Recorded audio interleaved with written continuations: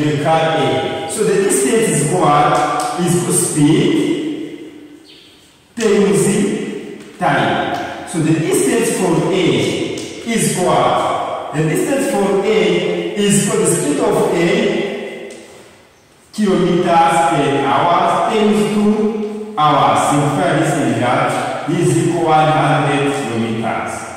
So why the distance for B? Distance of B is what? Speed of B times also time, which is equal 60 kilometers times 2 hours. This is equal 100.